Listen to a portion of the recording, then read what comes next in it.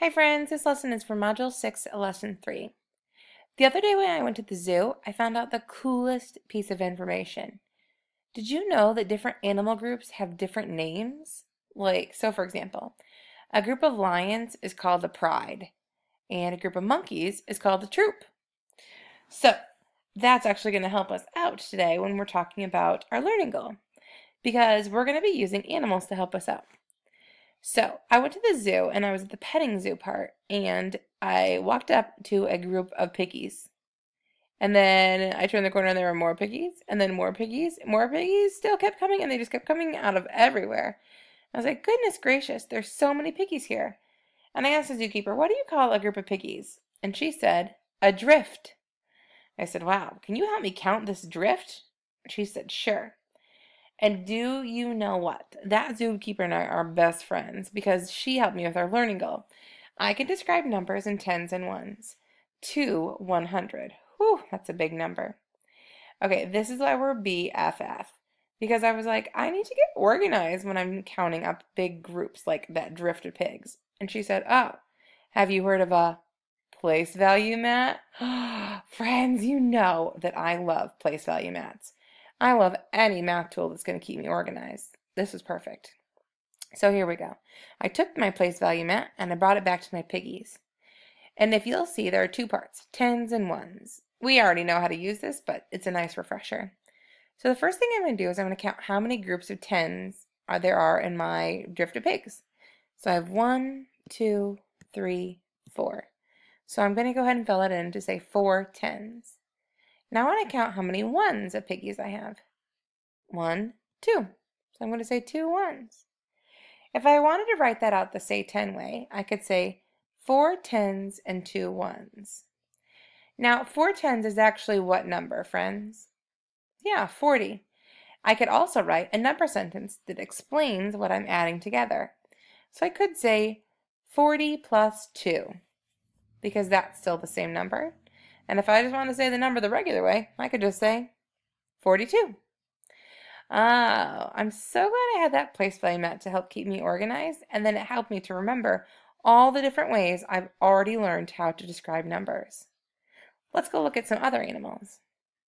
The next group of animals I saw are obviously my favorite, the river otter. I love, love, love, love, love them. Now, a group of otters is called a romp.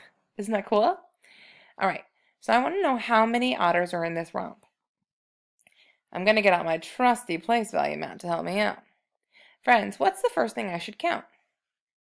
Yeah, you're totally right, the tens. I'm just going to call, count groups of tens. One, two, three, four, five, six, seven, eight. So I see there are eight tens, and what do I have to count next? Yeah, the ones.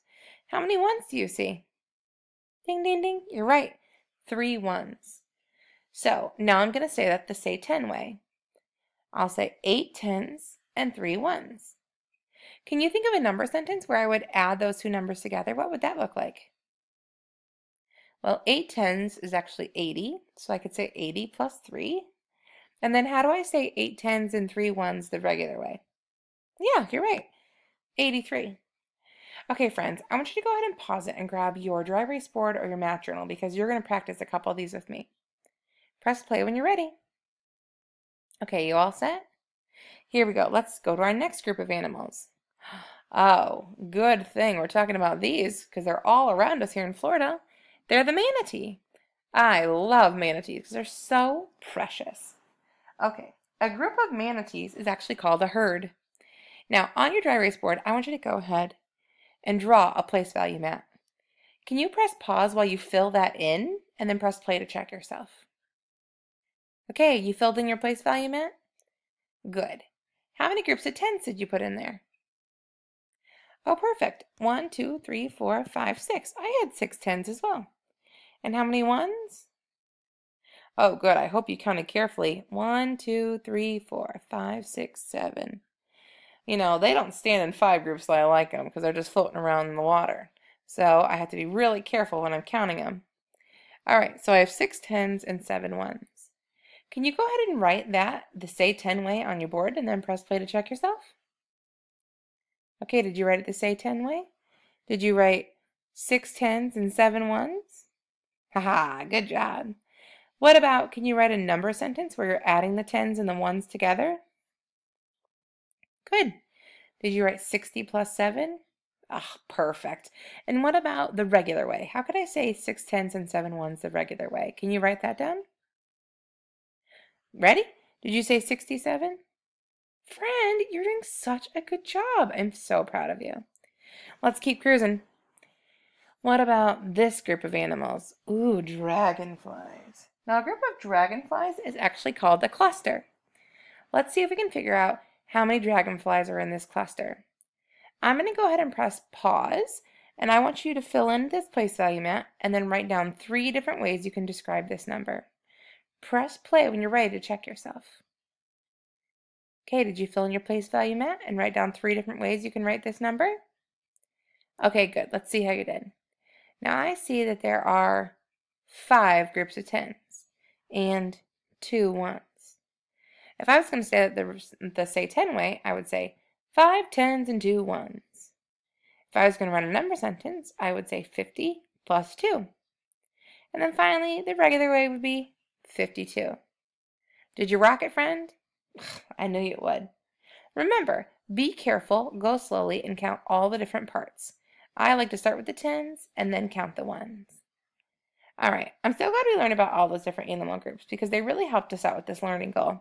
I can describe numbers in tens and ones to 100. Remember, we're getting ready for second grade, so things are going to start getting bigger. Words are going to be getting get are going to start getting bigger, and so are numbers. All right, it's your turn, friend. This is the one you're going to send to your teacher. Now, I don't really know what a group of caterpillars are called. Sorry. So, I just want to show you this. Here are the caterpillars. The one on the leaves are groups of tens, of course. And then the other ones are the ones. I want you to go ahead and fill in this place value mat. And then finish this number sentence.